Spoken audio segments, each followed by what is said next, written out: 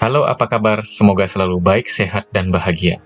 Pada kesempatan ini, kita akan belajar menerapkan CloudX Virtual Background tanpa green screen dengan Snap Camera.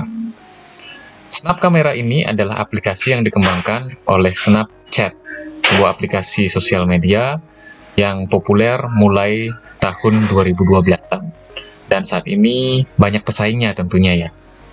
Sebelum kita mulai, teman-teman bisa like video ini, subscribe channelnya, dan nyalakan lonceng untuk mendapatkan update terkini dari channel ini. Teman-teman juga bisa melihat penerapan CloudX Virtual Background dengan XSplit VCam pada link teaser di atas. Sebelum kita melakukan praktek, kita simak dulu presentasi singkat mengenai gambaran umum daripada CloudX Virtual Background dengan Snap Camera ini. Pertama, kita download dengan kata kunci Snap Camera Download. Setelah kita berhasil mendownload, kita install dengan default install. Pada umumnya dengan klik next, next, dan. Setelah aplikasi terinstall, kita mencari template begitu. Template yang kita cari terkait dengan virtual meeting umumnya berupa background pemandangan begitu atau background ruangan. Nah, contohnya mountain begitu. Setelah kita klik mountain, kita pilih template yang sesuai. Lalu template berganti seperti ini. Ada virtual background. Kemudian secara otomatis apa yang kita ganti di Snap Camera akan juga terganti di virtual meetingnya dalam hal ini CloudX. Bila kita ingin background yang transparan, pilih template green screen. Ini kita pilih green screen dan otomatis sebenarnya ini menjadi transparan. Lanjut setelah konfigan di Snap Camera selesai, kita virtual meetingnya CloudX, kita pilih video dan pilih kameranya menjadi Snap Camera. Oke, kita lanjut praktek. Pertama, kita download Snap Camera dengan kata kunci Snap Camera Download. Nah, setelah itu kita download. Nah, ini sudah selesai. Klik dan install. Next. Next. Next, kita create desktop shortcut. Next. Dan install.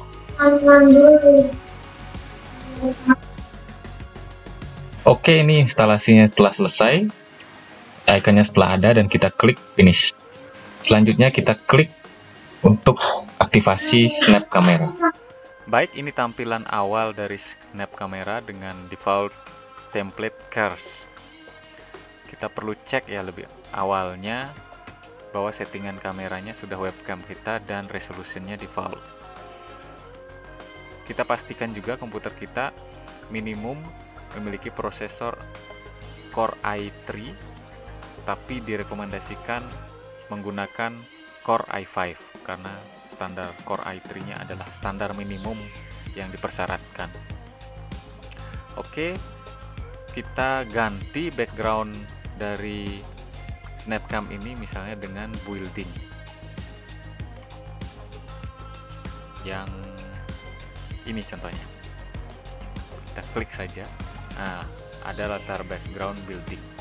Sebelumnya dengan latar background seperti ini tentunya kurang pas ya untuk virtual meeting bisnis atau profesional.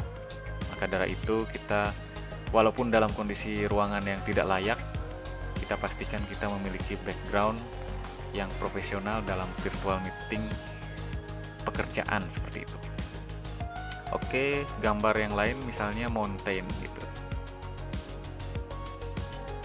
Di sini sudah saya berikan bintang untuk yang terverifikasi sebelumnya. Nah, seperti ini contohnya. Setelah kita memilih background tadi, kita buka CloudX-nya dan pilih snap kamera sebagai source dan kita buka background yang sebelumnya kurang layak telah ditutupi dan diganti dengan background virtual oleh snap kamera bila kita mengganti misalnya background di snap kamera otomatis di CloudX-nya pun terganti seperti ini. Bila kita memerlukan background yang transparan, kita search dengan kata kunci green screen.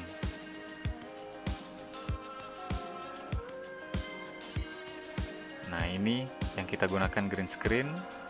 Nah, bila di CloudX-nya kita sehubungan dengan ini CloudX dengan akun host ya. Kita bisa memilih virtual background juga. Namun, dalam hal misalnya transparan, seperti ini warnanya akan menjadi hijau.